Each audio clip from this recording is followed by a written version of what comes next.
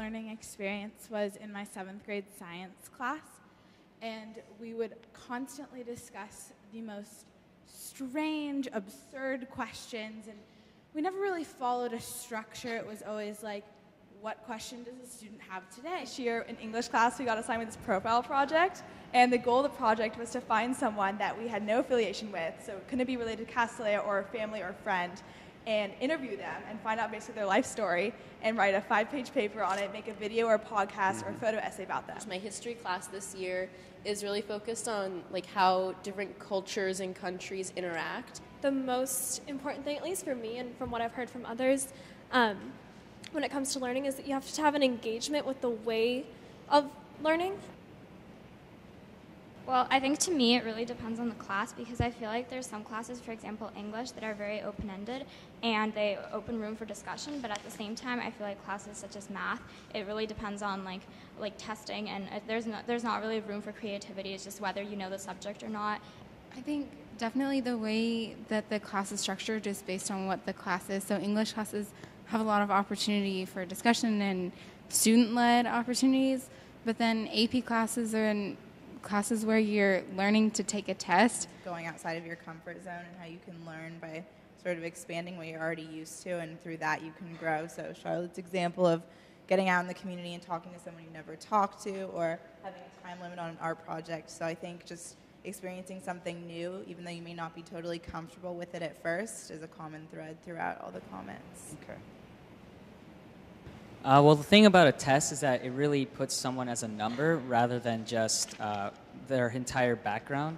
So I feel that with uh, creative learning, by maybe basing uh, the school system around projects and a lot of um, work, individual and in groups, uh, having maybe setting some sort of goal that's very vague.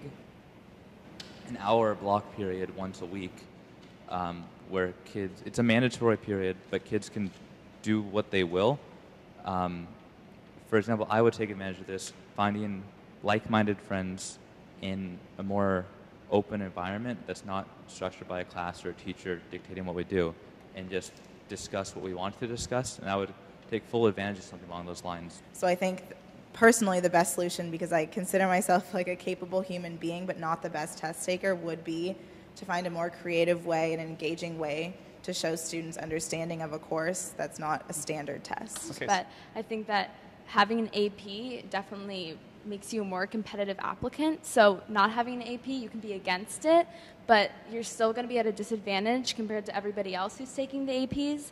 So I think that this is a little bit radical, but maybe eliminating APs altogether would kind of even this out. But then again, there's always the negatives that are like, um, then how do you measure everybody? How, how is there an equal measuring line for everybody around the country? So I just think it's a very complicated issue. That obviously standardized, test, standardized testing cannot measure uh, all qualities and all capabilities, especially because people are so different. And I think that's one of the big issues that society has not learned to um, manage, which is that there's so many different types of learners and there's so many ways to show it. Like there's kinesthetic um, and visual and auditory.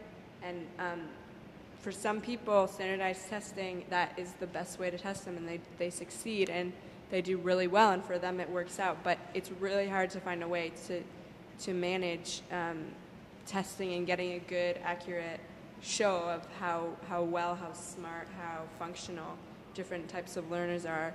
Um, and I think that that's the challenge. That that's the future challenge. If there's a way, and that's why I think it's it would be good to have options.